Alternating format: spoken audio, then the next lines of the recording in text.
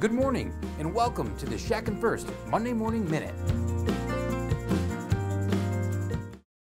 Good morning, I'm Dr. Todd Shatkin, and welcome to this Monday Morning Minute. We're here in Buffalo at our Mini Implant Training Center. We have Dr. Joe Gillespie here with me from South Carolina. Hey, everybody. And we've got an audience of about 60 people here learning about mini dental implants. Fitz, it's going great. How are you doing? I'm doing awesome. What a what a great for our first course of the year. This is awesome.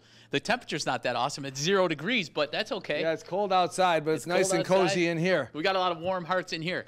And uh, Absolutely. You know, we've got a bunch of classes coming up, and we'd love to have you come visit us. We've got our upcoming advanced course in early March. Fitz, what are the yeah, dates? so the dates are the 9th and 10th of March.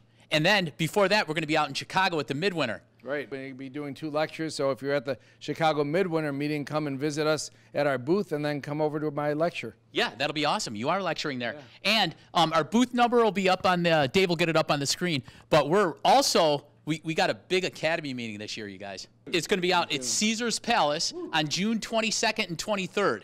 And uh, you got to sign up. That's going to be a great event. Once a year, we have a big symposium.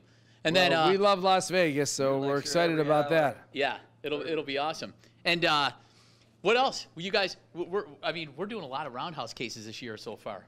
On record pace, aren't we? On a record pace, that's right. So we got we got a lot of uh, roundhouses coming out of the lab. Kevin Well, was we're, telling me. we're, we're switching people's dentures to permanent teeth, and they- they're loving it. Patients, we're changing patients' lives every day. Every day. Yeah. if you love zirconium, if you love Zantac, if it's for you a fixed on six, a great on eight, uh, come help, learn, get your talent up, kind of bump your skill to the next level. We're excited to see you at the next couple courses where we can enhance your patient care.